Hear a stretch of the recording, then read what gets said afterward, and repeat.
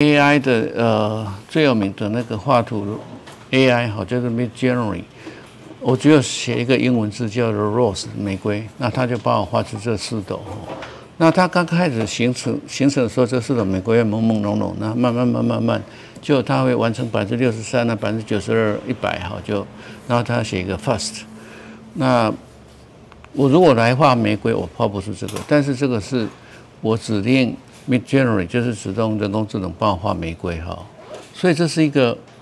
那如果文字，我昨天就写一个关键字是剖腹产科胚胎快筛试管婴儿，呃，已经生过白化症女儿，然后胚胎快筛生出健康宝宝哈，然后我下一个指令，我叫那个呃 AI 写说写一篇记者稿，结果他写出来的记者稿，我我觉得不比人写的还还差哦。所以这是一个非常惊讶的发现跟惊慌的发现哦。什么什么概念？就是说我有已经有记者朋友在跟我反映说，他们的老板画图的部分用 AI，他认为他的老板有一天文字的部分也会，那文字部分用 AI，那就不用记者了。所以到底在 AI 下面，我们需不需要担心恐慌？我的工作不见了哈？AI 到底会不会取代人？我斩钉截铁想，不会，绝对不会。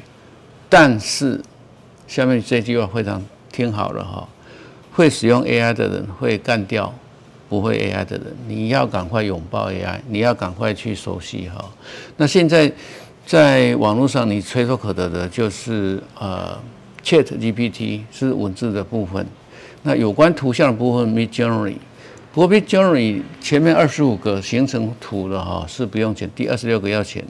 那我有我有账密，我有付款哈，所以如果说大家要去 try Mid Journey，呃，也可以跟我要账密，赶快进入 AI 的世界。这个不是你要不要的问题，而是你十年之后你还有没有工作的问题，不是开玩笑的哈。你要熟悉什么叫 AI，你不要排斥。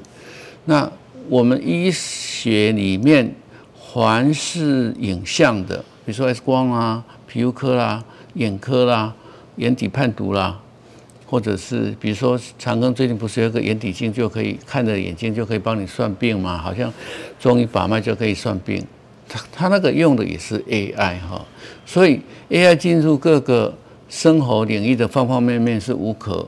避免的也必须要走的一条路，因为可以节省很多重复性的工作。那 AI 可以辅助你做出很快的决策，正确的、比较接近正确的的决策，但它没办法取代你的灵魂，它没有取代你的美感，它没办法取代你的呃智慧，没办法。所以人类的智慧还是会管制 AI。虽然 Elon Musk 说。呃，和以前发现黑洞的那个英国那个号称只比呃爱因斯坦一样聪明的那个 Hopkins，英国的那个威威廉 Hopkins 剑桥大学那个，他们认为人类智慧会干掉人类。对，曾经有过一个一个一个人这样问 ChatGPT，请问新加坡人口多少？他写七千五百万。我们台湾两千三百万呢，新加坡怎么可能那么小地方设置七千五百万？再问一次，ChatGPT 怎么可能七千五七千五百万？那 ChatGPT 直接是改口说啊，说错了，七百五十万。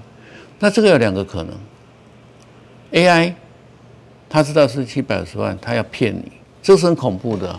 AI 已经会骗人类了哈。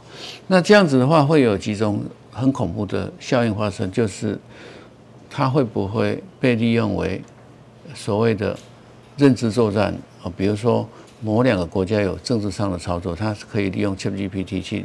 因为你不要以为 ChatGPT 的答案就对了。有个记者就问：“请问，在中美竞争下，巴拉巴拉巴拉，结果 ChatGPT 就引用了拜登说某一段话结果记者就去认真查拜登压根就没有说过这句话。所以你用 chatgpt 你要再去去去 confirm 一下到底他讲的对不对哈？